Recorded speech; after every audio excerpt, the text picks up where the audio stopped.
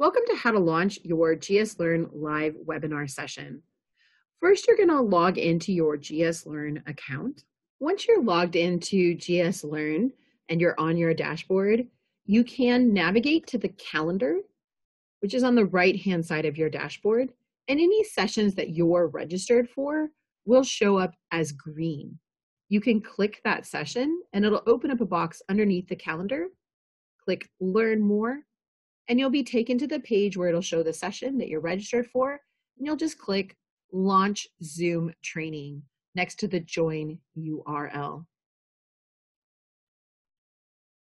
You can also find the course on your dashboard.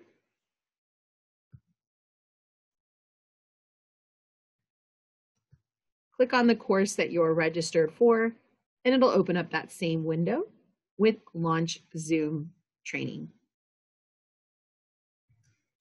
If you don't want to go into the GS Learn system, when you register for the course at the time that you register, you're going to get two emails. One marked GS Learn saying that you're registered for this session with a quick link into GS Learn and a calendar invite you can download. You'll also get a confirmation that has the instructor's name attached to it. There will be the instructor's email. So if you have difficulty on the day of, you can send an email to the instructor.